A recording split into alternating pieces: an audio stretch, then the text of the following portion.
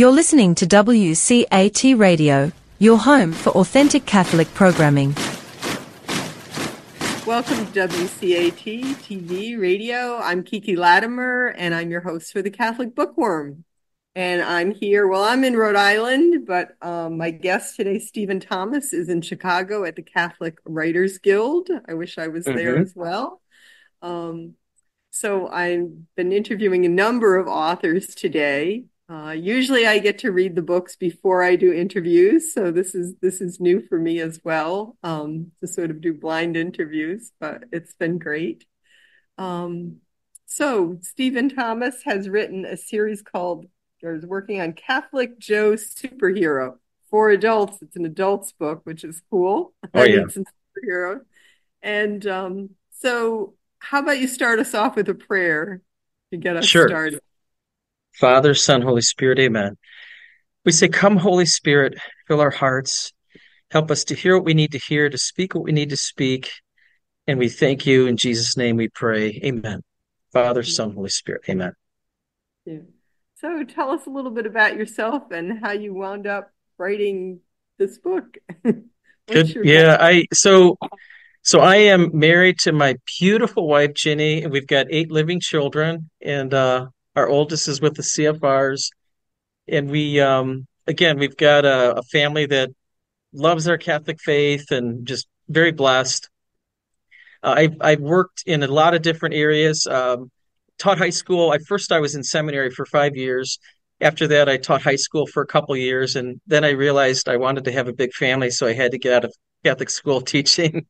um, and then uh, after that, I, I did cabinet design. Um, so any any type of high end like woodwork or anything like that, I uh, I was a designer.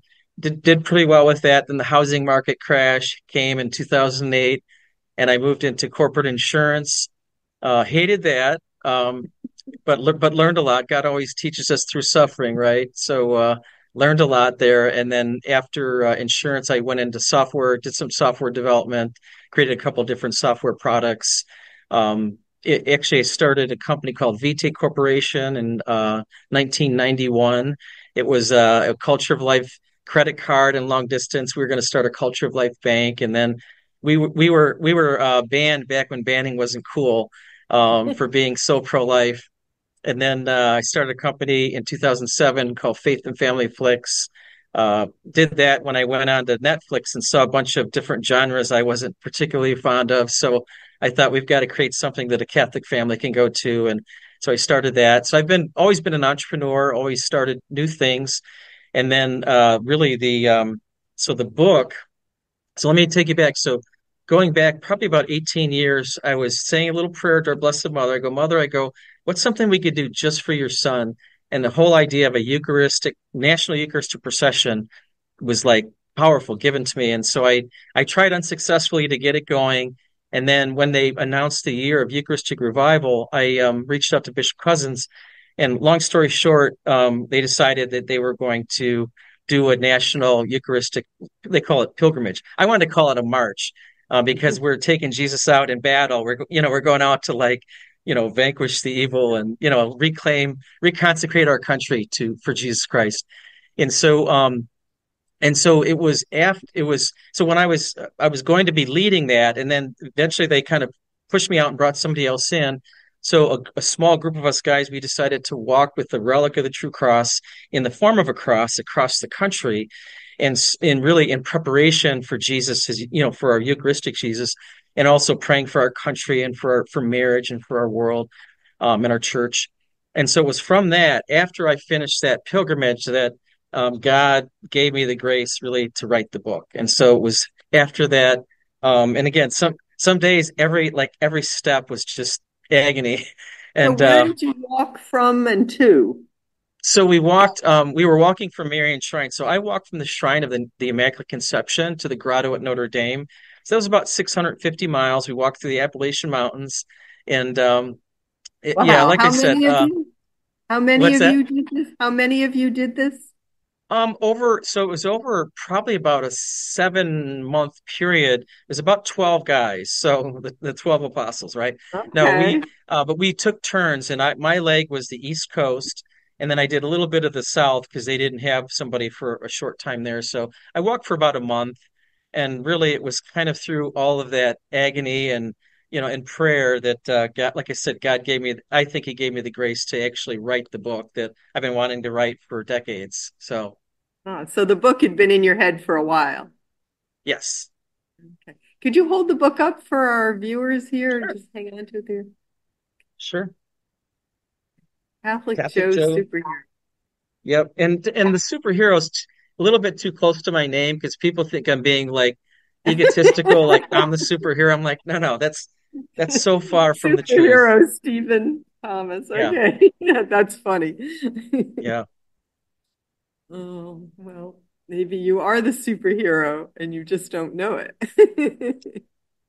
well, we're all, you know, and that's the thing, you know what? So my my big thing when I when I give talks, so I'll give talks to different men's group groups, is that is we're all by the merit of our baptism, you know, we are people don't realize the dignity that we receive when we're baptized and that we are made priest, prophet, and king, and that we're grafted into God's family. And the thing is, is that we are all called to be superheroes. And again, I may not be able to pick up a bus and throw it, you know, but I can, but I can lift up a soul and and help bring that soul to the Father.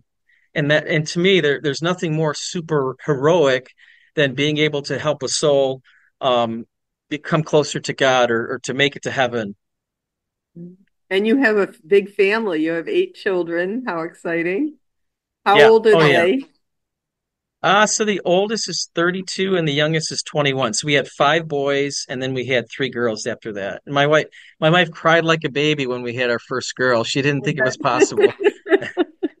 yeah. Oh yes. Well, I have 13 grandchildren and we, we had one girl, and now we have a second girl and 11 boys. So, uh, oh, wow. yeah, we were starting to feel like, are there any girls? You know, we keep having boys. Um, but my daughter, who has five children, just had her first girl. Um, she oh, has four boys and finally had that girl. And yeah, it was the same thing. Like, oh my goodness. you have to be just so ecstatic having all those grandkids around you. Yeah, it's really funny, you know, we're living in this culture that tells us there's no difference, you know, between boys and girls, but it's oh, really Oh boy. yeah, you, haven't been around our family because it's a, there's a huge difference. You haven't been around reality if you think yeah, that. right. Right. So tell us about your book. Um, like I said, um, normally I would have read your book and I would have all yeah, sorts of. You didn't write. You didn't read it. Oh my goodness! No, no. Um, you're a speed reader, right? No, actually, so it, you know, um, so I wrote the book for a multitude of reasons. Um, uh, one of the reasons was a severe need for therapy. Um, so this was like just coming off of uh, COVID and all and all the you just mentioned it, all the nonsense that's going on in our culture. I'm like, this is insanity. And so what I did is I, you know, a fictional book, you can create your own reality, right? So all the things that I was just disgusted in in life, I created different outcomes. So it was it was kind of a therapeutic thing, but also um, I would say mainly it was written and I wrote it specifically for men. Um, but I have to tell you that women love it. And and it just it shocked me because I asked them, I said, you know, I wrote this for men. Why do you like it? And they they said because it shows such a beautiful masculinity. Um, it shows a true masculinity, and I think it's something that really is attractive to women. So I wrote this really to give hope, but also to ignite. I used to say to encourage, but encourage was not a strong enough word. Um, it was written to ignite, um, ignite men and, and women, really to ignite them, to ignite their hearts, to realize that um, you know, there's a tagline here. It says, "What can one?" says, "What can one man possibly do?" And that isn't a question. That is a that is a challenge. Just like Jesus said in the in the gospel, he said, "When the Son of Man comes, again will he find faith on the earth? I don't think that's a question. I think that's a challenge. And so this the same thing with this is that it's meant to be a challenge. And i really wrote the book really to engage and to ignite um, people um, to realize that we all have a part to play. We all have again we're all called to be superheroes by the merit of the graces that god gives us. Um, so that was probably the primary reason that i wrote it was really just to give encouragement to give hope um, and to really to ignite people. Um, it kind of reminds you know, me when so, you said that of that the old movie "It's a Wonderful Life." You know, what Yeah. can one person do? Yeah. Sometimes we underestimate what our role in life is very often. Well, that's yeah, and and just to give you an example, so my so my I would say my conversion, I've always been Catholic, but my really the thing that really ignited me was it was in high school and and somebody had left a small little white booklet, Mother of Christ Crusade. Again, a very simple, but it was about the story of Fatima. And if you think about that one little book that some lady, probably some lady, left for somebody in this, again, this little smart aleck punk high school kid picked up this book and read it, and it changed my life.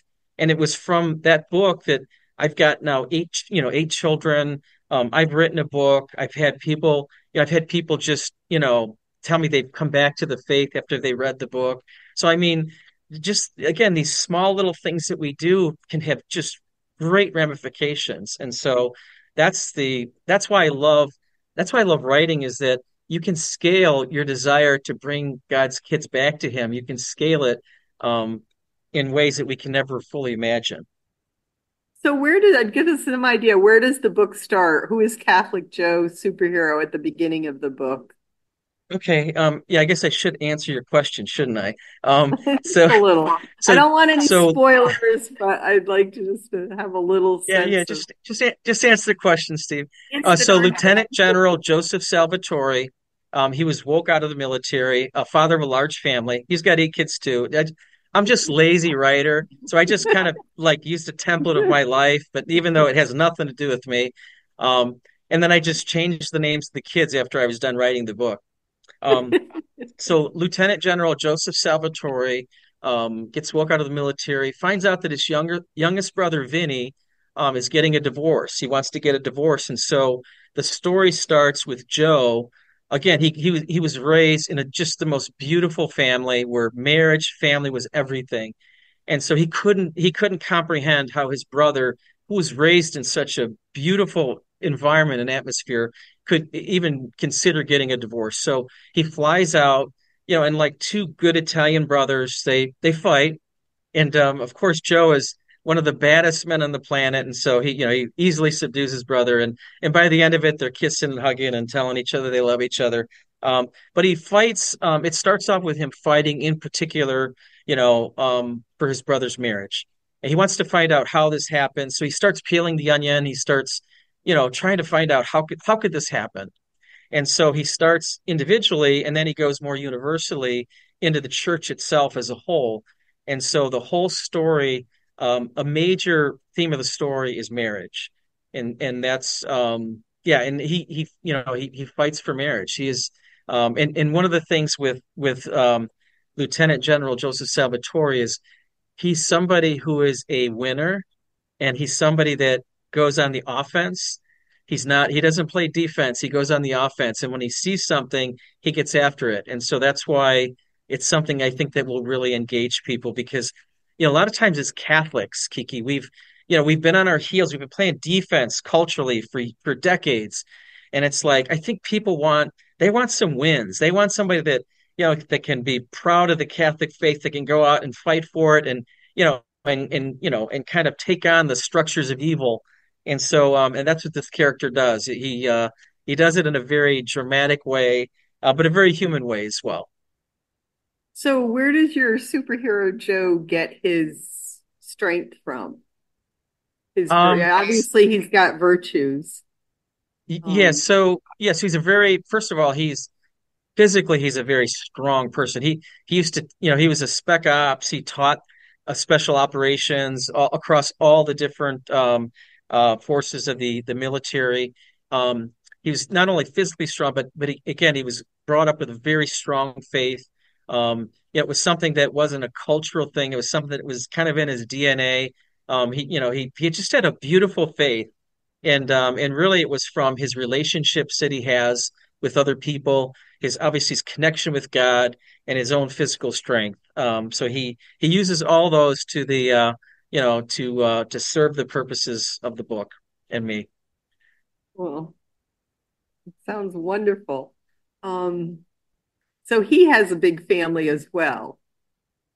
Is Correct. he is he with his family in the book or is he venturing out from that home place? so it kind of it overlaps. So his, you know, one of the themes in the book too is that, you know, he again as a soldier, um, you know, I point out that the family really the family sacrifices just as much as the as a soldier themselves. Um, so but he does, you know, he, he always longs to be back, you know, on his porch with his wife, you know, um, you know, smoking a cigar with, you know, uh, with his family playing around him. Um, but the family is a part of it. The first book really focuses on the, the character development of, of Joseph Salvatore. There's other main characters too. There's a lot of like there's priests in there that are you know that, that where there's character development. Um, there's the uh, the antagonist um, who's a bishop, um, and uh, but but I treat I treat the priests very well. They they're shown as strong and you know just um, again I've had some great uh, some great mentors in priests and so um, so again, I try to I try to paint a picture, and, and, I you know I try not to beat people over the head with the faith, but I try to just weave it in as a natural part of natural part of their lives. Um, so, so yeah, so the, the second sacraments.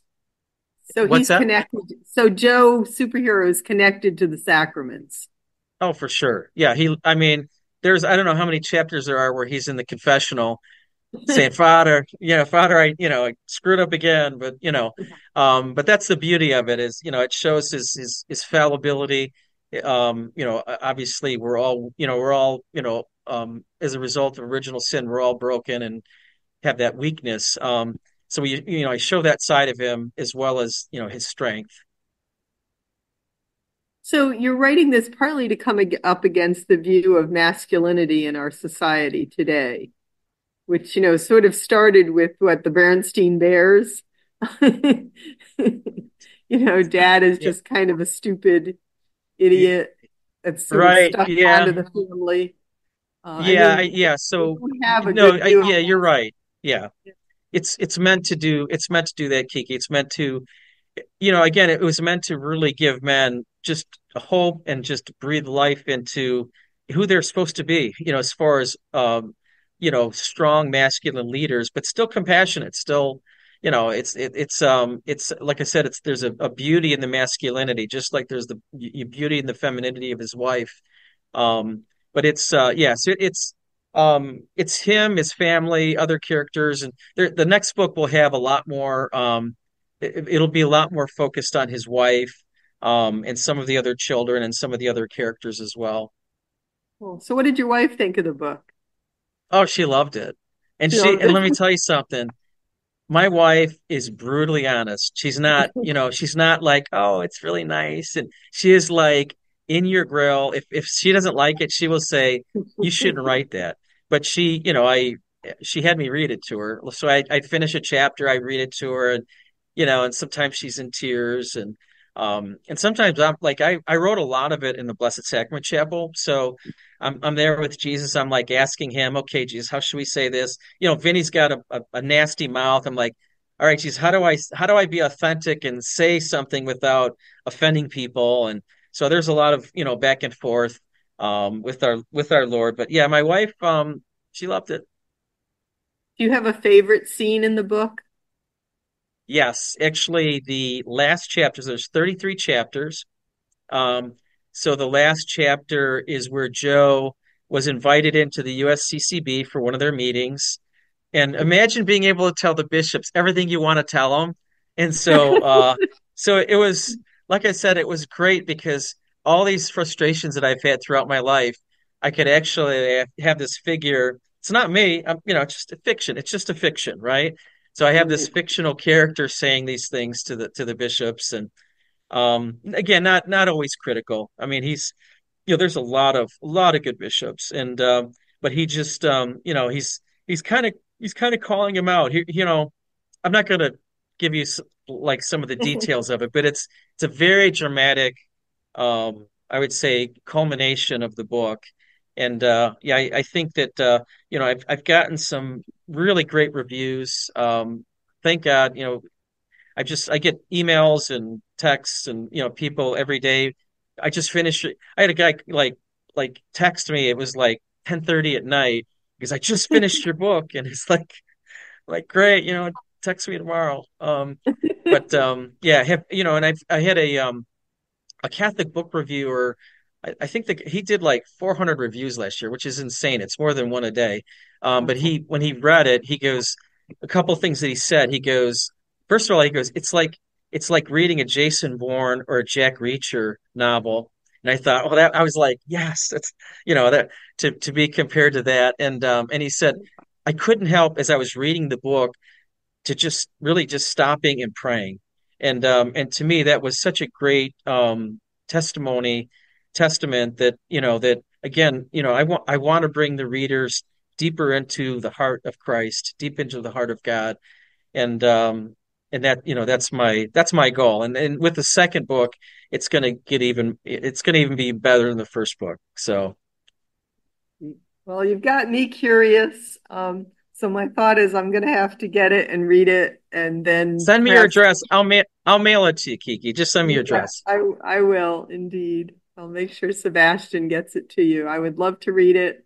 Um, my husband would most likely also like to read it. And then when you've got the second one written, we'll do a second interview. Um, cool. That would be wonderful. Yeah, yeah, that'd be great. Is there anything you want to say about the book that you ha- that we haven't mentioned that's important to you? Um, you know, just again, I would just the, the thing um the thing that's been the most gratifying for me um is that um and again it's it's all God, it's all gift, right, from God. Every even the ideas, you know, as I'm writing it in the Blessed Sacrament Chapel, again, I'm in, you know, it's like you're in the scene, right? You're Right. experiencing the emotions. I'm like a little, you know, I'm like a little kid. I'm, you know, I'm just like tears coming down. I'm in the scene, I'm writing it. Um, but you know, so my sister, like, she's totally on the other side, like other side of the spectrum. The she's like super liberal, highly educated, and uh, and she goes, she goes, Steve, I'm going to read the book, and I'm like, oh, geez, I'm like, th this should make for great, you know, Thanksgiving conversation, Oh yeah. um, because it's very, it's very hard hitting. I didn't pull any punches, you know, I, I didn't, you know, I didn't like write it thinking, oh, what would this person say? I'm like, I just wrote it. I'm like, uh, you know, and so Courage. you know, sh yeah, she just she read it and she goes, I never realized how deep and how beautiful our faith was. And she go and she came back to church. She wasn't going to church. She came back to church. And, you know, and, you know, I've had people come up to me at conferences, you know, saying they read it and they, you know, they came back to church. And, you know, and to me, when, when somebody reaches out and says that it really touched them, I mean, it's just so, it's just so heartwarming. And I just give gratitude to God whenever I hear that because you know, other than like having a child, there's there's no greater feeling than than knowing that you can maybe somehow bring somebody closer to God. You know, I mean, yeah, that's there's no greater feeling. It's amazing. Well, I'm very happy for you. I'm happy for the people reading the book. Hopefully, people listening to this interview will be uh, in inspired to find it, get it. Where can we get it, by the way? Amazon, I assume. Well, yeah, but I actually I would recommend go to CatholicJoeSuperhero.com. So CatholicJoeSuperhero.com. And if you could buy it from us, because we just we just make more money. Otherwise, I've been giving books away like uh like like nothing. Um, but you know, if you. you can help, yeah, if you can help support us by buying it on our website, it really it, it goes a long way. And uh yeah, you won't you won't be disappointed. I all, all I can tell you is that uh let me let me just let me just add this. So so women, all, all you women that are listening out there, if you want your husbands to look at you differently in a very new, profound way, get them the book because they it will change them. I and just my so my publicist, I, I don't know if I should mention this, but she gave it to her husband and he he read it and sh she goes, he went back to confession. He went. He's practicing the faith that you know what I mean. That uh, so it. Beautiful. I- I'm not taking full credit for that, but I think it was when he read the book that it really kind of struck him. And you know, like I said, it's hopefully people said it, they say that it's anointed, and you know, and praise God. You know, we just I just like I said, my whole goal is to bring people, you know, back to our Father. Well, that's beautiful. It's a beautiful testimony, and we thank you. Um, yeah, I'm looking forward to reading it, and I'll be in touch with you. How All right. you end us with a prayer? Sure, sure. Um, Father, Son, Holy Spirit, Amen. So we thank you, Lord, for this time. We thank you for really the gift of friendships. We thank you for the gift of this technology that allows us to have these conversations. Um, and especially, Father, for that one person out there that is watching right now and listening right now, we ask you to touch their hearts and let them know how much you love them. Let them know that it's never it's it's never over, that you've always got their back and and that that good things are coming and just to hang on and trust. So we pray all this, Jesus, in your holy name, and we ask you, dear Blessed Mother, dear Saint Joseph, intercede for us, watch over us, and watch over our families especially. Amen. Amen. Father, Son, Holy Spirit. Amen. Thank you so much. It's been delightful. Well, stay in touch, and I'm going to have you All send right. me the book. Thank you. Oh, for sure. Yep. Thanks, Kiki. Hello, God's beloved. I'm Annabelle Moseley, author, professor of theology, and host of Then Sings My Soul and Destination Sainthood on WCAT Radio. I invite you to listen in and find inspiration along this sacred journey we're traveling together to make our lives a masterpiece and, with God's grace, become saints. Join me, Annabelle Moseley, for Then Sings My Soul and Destination Sainthood on WCAT Radio. God bless you. Remember, you're never alone. God is always with you.